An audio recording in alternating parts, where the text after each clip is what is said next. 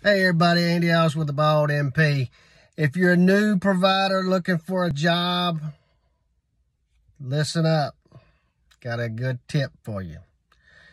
I have people from all over the country that I meet through my business, teaching people how to do different joint injections.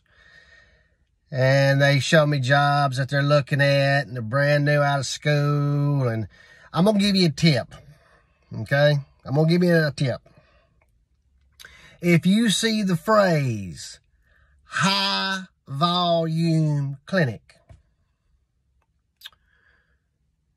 if you see a job description, we are looking for a mid-level provider or PA or NP, etc. to join our high volume clinic.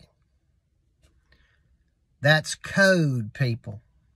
That's code to you better get ready that it's like you in the batter's box and you got Nolan Ryan on the mound looking at you and he's showing you the number one. I'm bringing the fastball. You may get some orientation,